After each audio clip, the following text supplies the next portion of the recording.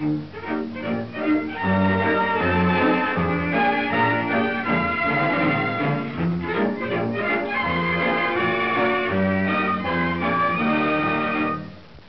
Einstein, who gave the world its biggest headache, is back in California again with his wife.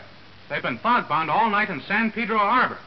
The professor had a theory as to how they could land, but before he and the captain could figure it out, the fog had all gone away. Now he's going to the Institute of Technology in Pasadena to work with other distinguished scientists. There his theory will be thoroughly discussed and analyzed, and if it is what he says it is, why then everything will be all right, won't it? Of course, it might be possible that he's come here to find out what it's all about himself.